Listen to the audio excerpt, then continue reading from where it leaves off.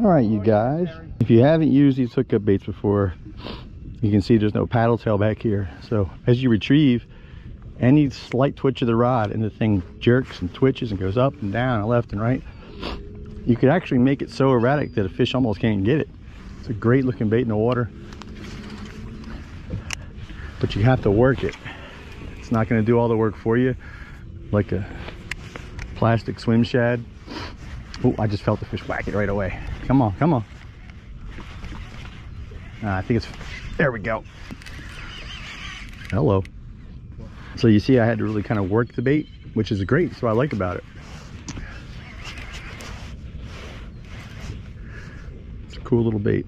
And I like that after 10 fish or so, you can just replace the body. You don't have to replace the whole bait. Oh, that's a pretty fish. That white hookup bait, man. Things are deadly.